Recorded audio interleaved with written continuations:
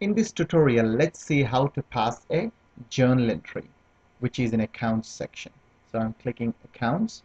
So you would notice that accounts be pressed in. So I go to accounts and see record journal entry. So I would do journal entry here.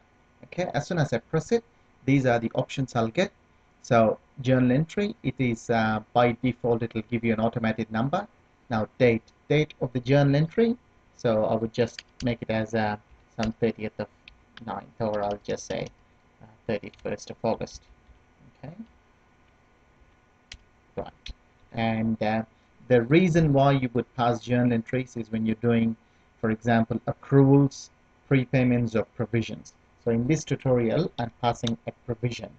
So I'm passing provision for annual leave and sick leave usually this is done by your financial accountant in your, in your company. So uh, this is a general provision you would pass every month. So what I would do is you have a, an option to select the account number here which is a GL number. Now what I'm doing is I'm uh, selecting annual expense okay? And that's a debit so something like thousand dollars. And then the job code which we will discuss in detail. Uh, just to give you a quick understanding job is nothing but a division if you have three or four divisions you want to have um, division Toowoomba, division Queensland, division Brisbane, division Sydney, division Melbourne then you would put the job. It's just the department you know the division or job site. Now because we don't have anything in this tutorial I'm leaving it blank.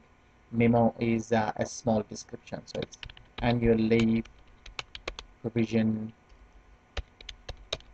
for the month of August 2014 okay?